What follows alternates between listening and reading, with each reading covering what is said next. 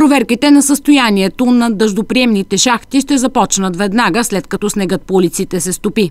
Проверка ще се направи задължително относно състоянието на дъждоприемните шахти. голямото снеготопение сякаш поприключи. Не се очакват някакви, кой знае какви валежи за бъдеще.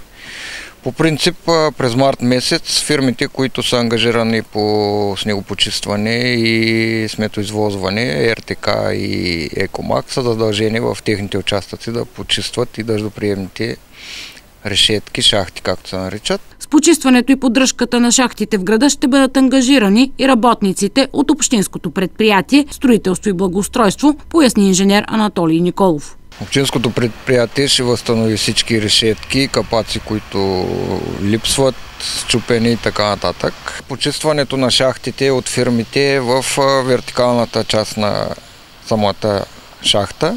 Хоризонталите би трябвало да се почистят от ВИК, но там, където успяват фирмите, почистват и хоризонталните штрангове.